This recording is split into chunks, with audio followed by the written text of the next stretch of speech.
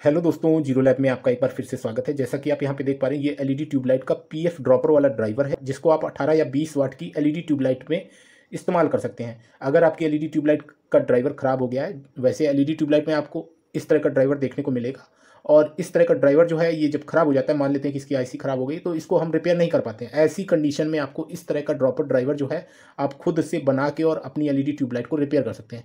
ये dropper driver जो है, प्रॉपरली उतना ही करंट आउटपुट करता है, साथ ही सेम वोल्टेज भी आउटपुट करता है, जितना आपकी एलईडी ट्यूबलाइट का जो ओरिजिनल ड्राइवर था, वो आउटपुट करता है। यहाँ पे मैं इस वीडियो में आपको इसका आउटपुट वोल्टेज और करंट का कंपैरिजन जो है, जो एलईडी ट्यूबलाइट में इस तरह के ड्राइवर आते हैं, उसके साथ मैं करके दिखाऊँगा। यहाँ पे दोनों ड्राइवर का आउटपुट वोल्टेज और आउटपुट करंट जो है, उसको हम कंपेरिजन करेंगे कि क्या वो दोनों सेम है। अगर वो दोनों सेम होंगे, आउटपुट वोल्टेज और आउटपुट करंट तो हमारा ये ड्रॉपर वाला ड्राइवर जो है, ये प्रॉपरली वर्क करेगा। तो यहाँ पे इसको बनाने का पूरा प्रोसेस मैं इस वीडियो के माध्यम से आपके साथ शेयर करूँगा। क्योंकि इस पर बहुत सारे कमेंट्स आए थे कि, सर एलईडी ट्यूबलाइट का ड्राइवर जो है, वो पीएफ ड्रॉपर वाला बनाना सिखाइए। तो मैं इस वीडियो को इसीलिए अपलोड कर रहा हूँ। तो चलिए, सबसे पहले हम इसका आउटपुट करंट जो है, जो ओरिजिनल ड्राइवर है, उसके साथ इसकी तुलना करेंगे, यानी कंपैरिजन करेंगे कि क्या सेम है, और उसके बाद हम इस ड्रॉपर ड्राइवर को बनाना सीखेंगे। तो चलिए वीडियो शुरू करते हैं। तो यहाँ पे पहले जो एलईडी ट्यूबलाइट में ड्राइवर लगा था उसको हम टेस्ट करेंगे। क्योंकि ये सही है तो हम इसको टेस्ट करते हैं। तो टेस्टिंग के लिए हमें क्या करना पड़ेगा? जो एलईडी ट्यूबलाइट की स्ट्रिप है, इस स्ट्रिप में हम इसके कनेक्शन जो है वो करेंगे। यहाँ पे आप देख पाएँगे पॉजिटिव वाले वायर को हम अपनी स्ट्रिप के साथ कनेक्ट कर रहे हैं। जैसा कि आप यहाँ पे देख पा रहे हैं, इस तरीके से मैंने इसको कनेक्ट कर दिया है। और निगेटिव जो एलईडी स्ट्रिप का पॉइंट है, इस पर मैंने एक छोटा सा वायर लगाया है। तो यहाँ पे जो वायर लगाया है, इसी वायर के साथ हम अपने मल्टीमीटर को कनेक्ट करेंगे। जैसा कि आप देख पा रहे हैं मल्टीमीटर की दोनों प्रोब्स जो हैं इन पे एलिगेटर क्लिप लगी हुई है। और मैं जो ये वायर है निगेटिव वाला, इसके साथ इसको कनेक्ट कर देता हूँ। साथ ही ड्राइवर का निगेटिव जो है, इस मल्टीमीटर की प्रोब के साथ कनेक्ट कर देता हूँ, जिससे कि जब हम अपने इस वाले ड्राइवर में सप्लाई देंगे तो यहाँ पे मल्टीमीटर में हमें इसके मिली एम्प जो है, वो शो होंगे। तो यहाँ पे आप इस चीज़ को नोट करना कि कितने मिली एम्प जो करंट है, ये ड्राइवर हमारा आउटपुट कर रहा है। तो यहाँ पे मैं अपने मल्टीमीटर को इस तरीके से मिली एम्प वाली सेटिंग में लगा देता हूँ। ये जो मल्टीमीटर है, ये 600 मिली एम्प तक का करंट जो है, वो इससे आप टेस्ट कर सकते हैं। तो इस मल्टीमीटर को हम इसके मिली एम्प सेटिंग वाले पॉइंट पे लगा चुके हैं और साथ ही अब मैं ड्राइवर जो है हमारा, इसमें सप्लाई देने वाला यहाँ पे जो ये एलईडी स्ट्रिप है, इसको मैं पलट के रख देता हूँ। इस तरीके से जिससे कि हमारे कैमरे में लाइट ना पड़े और हमें यहाँ पे मल्टीमीटर में इसके मिलियम शो हो। तो यहाँ पे मैं जो मल्टीमीटर है, मल्टीमीटर की लाइट भी ऑन कर लेता हूँ, बैकलाइट जो है। और चलिए, अब ड्राइवर का जो आउटपुट करंट है, उसको हम टेस्ट करते हैं। तो यहाँ पर आप देख पाएँगे, two hundred eleven milli ampere current जो है, वो हमारा ड्राइवर जो है आउटपुट कर रहा है। तो यहाँ पे हमने करंट जो है, वो तो देख लिया कि कितने मिली एम्प करंट हमारा ड्राइवर आउटपुट कर रहा है two hundred eleven milli amp. अब हम इसका जो आउटपुट वोल्टेज है, उसको टेस्ट करेंगे। तो वोल्टेज वाले सेक्शन में मैं मल्टीमीटर की नॉब है, उसको लगा लिया है। और अब हम थोड़ा सा चेंजमेंट करेंगे। यहाँ पे आप देखेंगे कि अगर हमें वोल्टेज टेस्ट करना है तो फिर सीरीज़ जो है, जैसा हमने यहाँ पे बनाया था, वो सीरीज़ हमें हटा के और मल्टीमीटर की दोनों प्रूफ्स जो है, वो पैरलर में जोड़नी पड़ेंगी, ड्राइवर के आउटपुट के पैरलर में। तो यहाँ पे इस तरीके से मैं इसको जोड़ रहा हूँ, जैसा कि आप देख पा रहे हैं। इसको हम इस तरीके से पैरलर में जोड़ लेते हैं। जैसा कि आप देख पा रहे हैं, यहाँ पे इस तरीके से मैं इसको पैरलर में जोड़ लिया है और अब हम इसका जो आउटपुट वोल्टेज है, उसको टेस्ट करेंगे। अब मैं मल्टीमीटर की बैकलाइट जो है, उसको ऑन कर लेता हूँ। जैसा कि आप यहाँ पे देख पा रहे हैं, बैकलाइट मैंने ऑन कर ली है और मैं जो ड्राइवर है हमारा ड्राइवर में एसी मेंस की सप्लाई देता हूँ। यहाँ पे आप देख पाएँगे कि आउटपुट वोल्टेज जो है, वो 76 वोल्ट यहाँ पे हमारा ड्राइवर आउटपुट कर रहा है। तो यहाँ पे इस तरीके से हमने देखा कि हमारा जो एलईडी ट्यूबलाइट के साथ का ड्राइवर था, वो कितने मिली एम्प करंट और कितने वोल्ट आउटपुट कर रहा है। यहाँ पे वोल्टेज जो है 76 वोल्ट और आउटपुट करंट जो है 211 मिली एम्पियर कर रहा है। अब इसके बाद अब हम क्या करेंगे? अब हम अपना जो हमने पीएफ ड्रॉपर वाला ड्राइवर बनाया है, इसके आउटपुट वोल्टेज और आउटपुट करंट जो है, वो टेस्ट करेंगे। तो चलिए, इसको भी हम लोग टेस्ट कर लेते हैं। तो इसके लिए हमें एलईडी स्ट्रिप से ये जो हमारा, ये वाला ड्राइवर था, इसके कनेक्शन हटाने पड़ेंगे और इस पीएफ ड्रॉपर वाले ड्राइवर को हम कनेक्ट करेंगे। यहाँ पे आप देख पा रहे हैं पीएफ ड्रॉपर वाले ड्राइवर का पॉजिटिव जो है, ये हमें अपनी एलईडी स्ट्रिप के साथ जोड़ना है। जैसा कि आप यहाँ पे देख पा रहे हैं तो मैं इसको कनेक्ट कर देता हूँ इस तरीके से और इसके बाद हम इसको टेस्ट करते हैं। यहाँ पे आप देख पाएँगे, मैंने इसको कनेक्ट कर दिया है और साथ ही मैं इसको इस तरीके से घुमा दूँगा जिससे कि लाइट कैमरे पे ना पड़े। और हमारा जो मल्टीमीटर है, मल्टीमीटर को हम अपने ड्राइवर के साथ कनेक्ट करेंगे। और इसका मिली एम सेटिंग में मैं मल्टीमीटर लगा लेता हूँ, जैसा कि आप देख पा रहे हैं। यहाँ पे मैं बैकलाइट जो है, इसको ऑन कर देता हूँ। और ये जो मल्टीमीटर की प्रूफ्स हैं हमारी, ये हमारे पीएफ ड्रॉपर वाले ड्राइवर के सीरीज़ में लगी हुई हैं। तो चलिए, इस पर हम सप्लाई जो है, वो देते हैं यहाँ पे। पीएफ ड्रॉपर वाले ड्राइवर के साथ मैं जो एसी मेंस है, इसकी सप्लाई दे रहा हूँ। यहाँ पे आप देख पाएँगे कि आउटपुट करंट कितना है। आप यहाँ पे देख पा रहे हैं, हमारा जो पीएफ ड्रॉपर वाला ड्राइवर है, वो 214 मिली एम्प करंट जो है, वो हमारे एलईडी स्टिक को प्रोवाइड कर रहा है। तो यहाँ पे बिल्कुल सही करंट है, वो 211 कर रहा था। ये 214 या 15 के करीब आउटपुट करंट जो है, वो प्रोवाइड कर रहा है 215 मिली एम्प तो चलिए, अब हमने इसके जो मिली एम्प है, वो तो देख लिए। अब हम आउटपुट वोल्टेज भी देख लेते हैं। यहाँ पे आउटपुट वोल्टेज देखने के लिए हमें क्या करना पड़ेगा? मल्टीमीटर जो है, मल्टीमीटर की दोनों प्रोब्स को हमें आउटपुट में पॉजिटिव नेगेटिव जो ड्राइवर का आउटपुट है, उसमें जोड़ना पड़ेगा। तो यहाँ पे मैं इस तरीके से इसको जोड़ लेता हूँ, जैसा कि आप देख पा रहे हैं यहाँ पे। और अब हम इसका जो आउटपुट वोल्टेज है, वो टेस्ट करेंगे। तो इसको हम वोल्टेज सेक्शन वाले में लगा लेते हैं। मल्टीमीटर को और इसकी बैकलाइट जो है उसको ऑन कर देते हैं। यहाँ पे आप देख पाएँगे मैंने बैकलाइट जो है वो ऑन कर दी है और अब हम इसमें जो है एसी मेंस की सप्लाई दे रहे हैं। यहाँ पे आप देख पाएँगे ये 74.7 यानी लगभग 75 वोल्ट आउटपुट कर रहा है। तो इस तरीके से हमने देखा कि दोनों ड्राइवर के जो करंट और वोल्टेज है, वो सेम है। तो यहाँ पे पी एफ़ ड्रॉपर वाला ड्राइवर जो है, ये हमारा परफेक्टली काम कर रहा है। तो चलिए अब इस ड्रॉपर ड्राइवर को किस तरीके से बनाना है, उसका प्रोसेस समझते हैं। तो यहाँ पे 18 या 20 वाट की एलईडी ट्यूबलाइट के ड्रॉपर ड्राइवर को बनाने के लिए कौन कौन से और किस किस वैल्यू के कंपोनेंट चाहिए? सबसे पहले हम ये जान लेते हैं। तो यहाँ पे आप देख पा रहे हैं, ये एक फ्यूजबल रेजिस्टेंस है, जिसकी वैल्यू जो है, वो 2.2 ओम वन वाट है। यहाँ पे आप देख पा रहे हैं, ये वन वाट और 2.2 ओम की फ्यूजबल रेजिस्टेंस है। आप इसकी जगह पे 3.3 ओम की फ्यूजबल रेजिस्टेंस भी वन वाट में ले सकते हैं। इसके बाद आप यहाँ पे देख पा रहे हैं, ये जो पार्ट है, ये एमओवी है और ये ten D five one one K का एमओवी है। तो इस तरह का आपको एमओवी लेना है।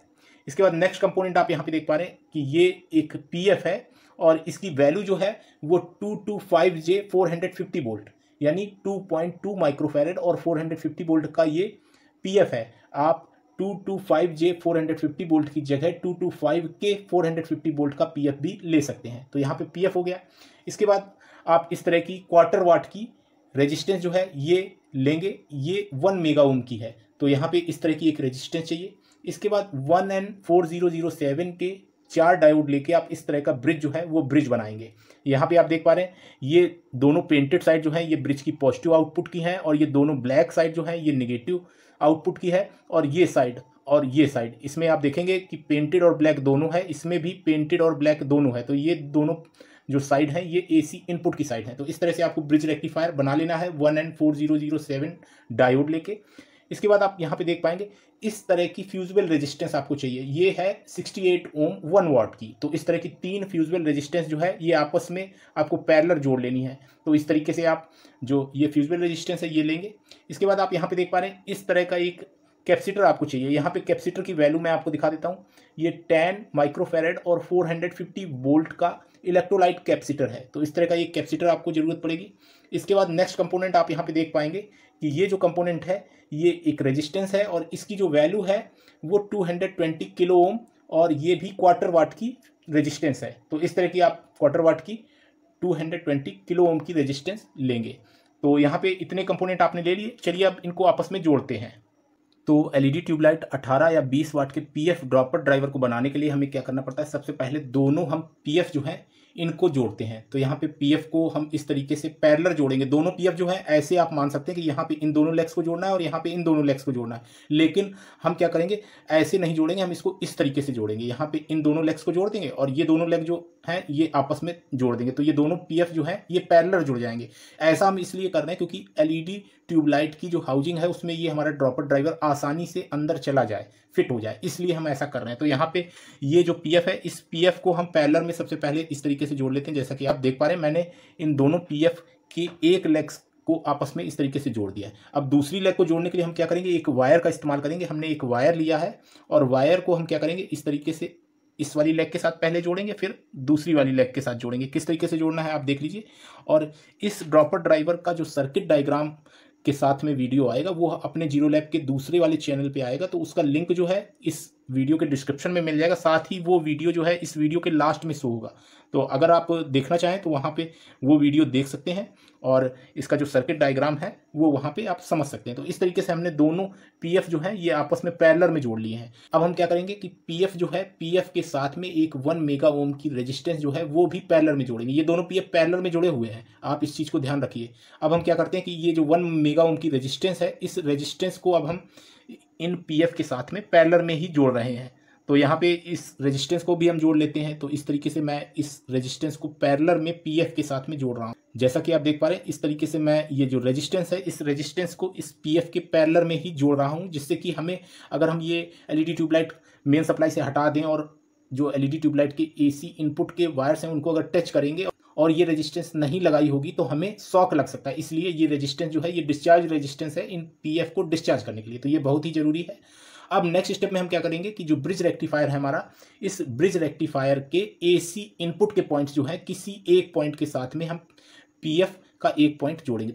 तो इस साइड वाले पॉइंट के साथ में हम पीएफ का ये वाला पॉइंट जोड़ रहे हैं। जैसा कि आप देख पा रहे हैं, इस तरीके से हम इस ब्रिज रेक्टिफायर के इस पॉइंट को हम इस तरीके से मोल्ड कर लेते हैं और यहाँ पे इस तरीके से हम इसको जोड़ देते हैं। जैसा कि आप देख पा रहे हैं, इस तरीके से आपको जोड़ना है।